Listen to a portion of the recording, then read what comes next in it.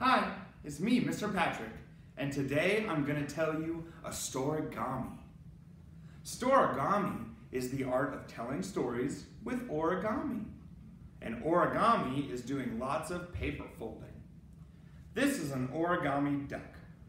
Her name is Florence, and we're going to tell a story about Florence right now.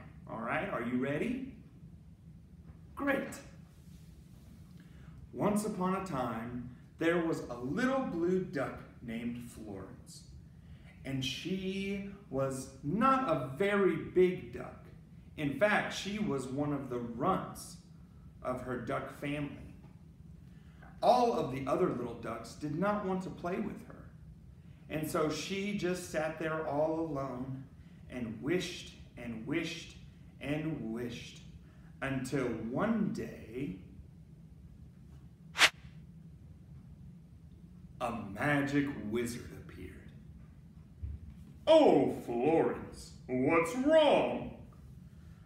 Oh, Mr. Wizard, I'm just so sad because all the other little ducks don't want to play with me, and and I just want to play with them, but I, I wish I, I was bigger. You want to be bigger? Well, I can do that for you. You can? Oh, that's wonderful. But first, I've got to put you back to your original form.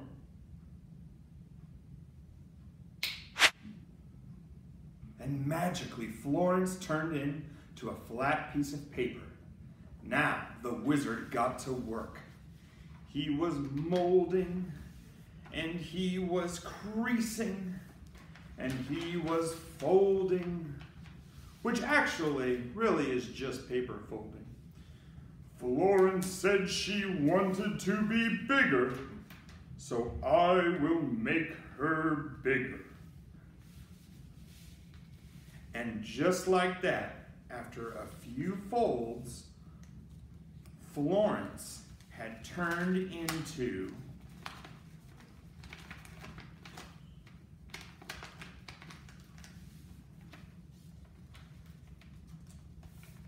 whale. Oh, I'm so big now, said Florence the whale. But she was a little bit too big, wasn't she? And the whale, Florence, took up the entire pond. Now none of the ducks could play, and they all left her alone to sit. Poor Florence. Then, one day, Florence was looking up at the sky, and she saw all the lovely birds flying high and the kites going by, and she said, Oh, I wish that I could fly. Is that your next wish, Florence? said the magician as he appeared again in front of her. Oh, yes, that would be wonderful. So the magician took her and he waved his hand around and he did some molding and paper folding and turned her into a lovely kite. Florence was so excited that she flew high and flew low and did loop-de-loops. Woo!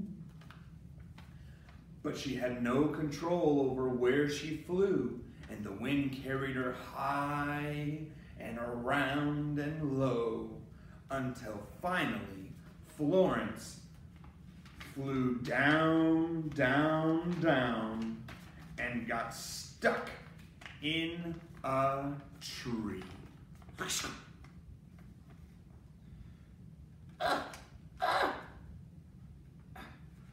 My body's all thin like a surfboard, and now I can't get out of these tree branches. Ugh, ugh.